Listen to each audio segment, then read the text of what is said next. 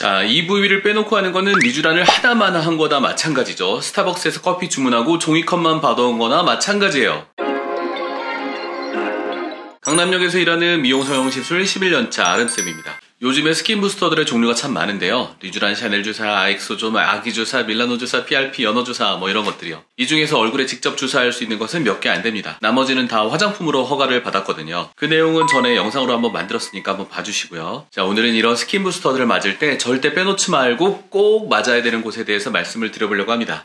자, 얼굴의 피부 중에서 노화가 가장 빨리 오고 눈에 가장 잘 띄는 곳은 어디일까요? 바로 눈 주변입니다. 눈 주변을 보면 노화를 가장 잘 알 수가 있죠. 그리고 우리가 의식적으로 눈을 보지 않더라도 사람들을 대화할 때 사람들의 시선을 이렇게 분석을 해보면 눈과 눈 주변을 가장 많이 본다고 해요. 따라서 눈 주변의 노화는 가장 눈에 잘 띄는 곳이죠. 눈 주변의 피부는 약 0.3mm로 얼굴 중에서 가장 얇은 편이라 구겨지기도 정말 쉬워요. 또 다른 곳의 피부는 피부 밑에 근육이 있고 그 사이에 지방이 있어서 근육이 막 수축을 하더라도 피부가 이제 힘을 받는데 한번 한번 걸러서 받게 되는데 눈 주변은 근육과 피부가 딱 붙어 있어서 웃거나 어떤 표정을 지을 때 근육이 수축하는 대로 피부가 막 이렇게 구겨지게 돼 있어요. 딱 달라붙어가지고 막 막 막 구겨요. 또 눈 주변에는 피지선이 적어서 유분의 보호를 좀 덜 받는 곳이거든요.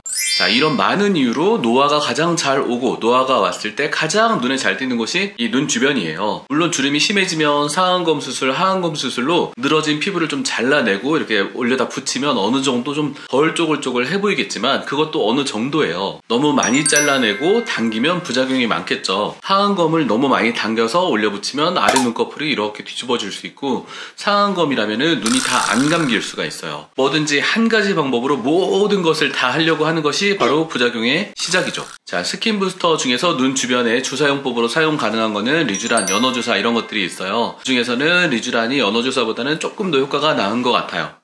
그런데 눈 주변은 리쥬란 같은 skin booster들을 주사하기가 좀 까다로워요. 앞에서 말씀드렸다시피 눈 주변의 피부가 0.3mm로 아주 얇아요. 굉장히 얇기 때문에 얇게 주사를 하려고 하다가 약물이 다 바깥으로 흘러버리게 되고 또 깊게 하려고 하다 보면은 근육 속에다 헉 이렇게 다 넣어버리고 말아요. 우리는 피부를 좋게 하려고 했는데 근육을 막 이렇게 좋게 하거나 크게 하려고 하는 게 아니잖아요. 피부 상태를 회복하려고 하는 거다 보니까 굉장히 그 얕은 층에 얇게 주사를 해야 돼요. 그렇게 하면 당연히 눈 주변에 엠보싱이 생기게 되겠죠. 엠보싱이 안 생기면 음 뭔가 잘못된 거예요. 제가 전에 리쥬란하고 엠보싱이 없으면 사기인가요? 라는 영상을 올렸었는데요. 피부 상태에 따라서 다른 곳은 뭐 엠보싱이 좀 덜 생길 수도 있는데 눈 주변은 거의 대부분 사람들이 피부가 얇기 때문에 엠보싱이 생겨요. 안 생겼으면 근육 중에 훅 그냥 넣어버려서 효과가 미비하거나 또는 리쥬란이 아닌가 하고 생각을 해야 될 것 같습니다. 혹시나 굉장히 촘촘하게 촘촘촘촘촘촘촘하게 하면은 엠보싱과 엠보싱이 딱 달라붙어서 볼록볼록함이 좀 덜 보일 수는 있을 것 같아요. 자, 잔주름이 많이 생기는 상안검, 하안검에 주사할 수 있는 그런 리쥬란 제품은 리쥬란 아이라는 제품인데요. 성분과 농도는 같지만 약간 더 물렁물렁한 그런 제형이에요. 피부가 얇고 힘이 없는 눈꺼풀 주변에는 리쥬란 아이 말고 그냥 리쥬란을 사용했다? 그러면 엠보싱이 좀 너무 오래 갈 수도 있어요. 그런데 이제 리쥬란 아이의 가격이 그냥 리쥬란보다 조금 비싸서 결제할 때마다 조금 섬찟섬찟합니다. 요즘 소모량이 굉장히 많아서요. 좋아요, 구독, 알림 설정. 자 다음으로 리쥬란 하는데 눈 주변과 더불어서 꼭 정말 하고 싶은 부위는 바로 팔자 주름 쪽이에요. 웃을 때마다 피부가 접히기 때문에 응?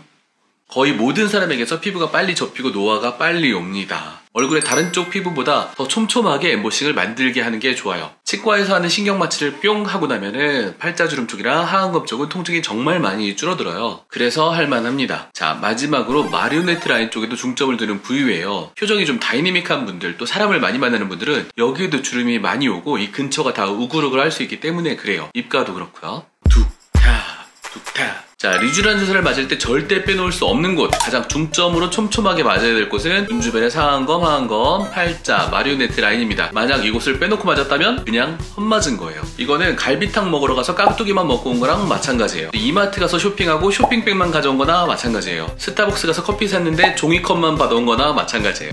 아, 오늘따라 비유가 좀 찰진데요? 음, 아, 그래요. 아이폰 샀는데 충전기만 받아온 거나 마찬가지예요.